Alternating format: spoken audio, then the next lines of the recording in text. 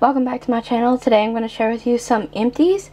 Um, quick side note, uh, this will be the last time for the next couple empties that I'm going to show like household kind of items. I just have repeat stuff constantly. Y'all know I love the Dollar Tree products. I would most preferably stick with the candles and beauty and bath items. So that's what I'm going to do. Um, but I'm still going to share with you today some household items, so I hope you still enjoy that. So, one of my last visits, I got the Reynolds Wrap um, wrappers. There's 25 in here. These are good. They're not as quite as long as the Dollar Tree brand ones, and you get five less, but if you're in a pinch and these are the only ones you can grab, they're name brand, so they're good. Um, another repurchase is the Scrub Buddies Nail Guard Sponges. Love these. You get six of them. They don't fall apart as easily as the other yellow and green sponges at Dollar Tree. I love them. I mean, what's not to love? There's six in there for a dollar. Um, I have an aluminum foil. Um, this is the bonus one with 50 square feet. This is good. I line my pans with it. It does what it's supposed to do. It has a non-stick side and the shiny side, so um, it's great. Um, another repurchase is the Nature's Measure Women's Daily Vitamins. You get 30 in here. They have plus iron, and I like these, so I continue to get them as well. I have two empty handles uh, tall kitchen bags here. Um, obviously, these are great. They're my favorite, and there's two empty ones here.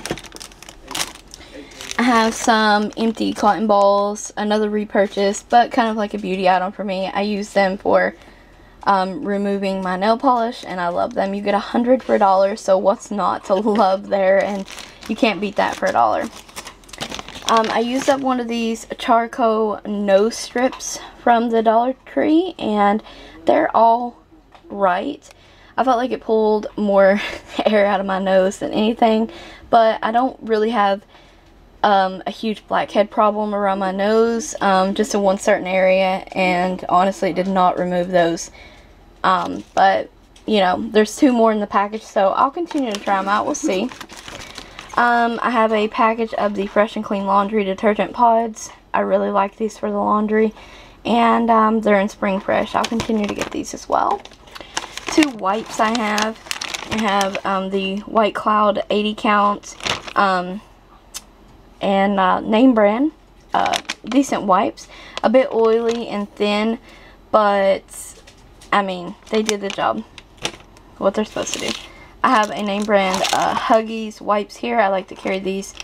Um, it's like got 32 in there for Connor's backpack and stuff, and they work great. So I have those. Um, Assured brand instant hand sanitizer. That's all gone. I repurchased this stuff. I keep one in the kitchen, one in the bathroom.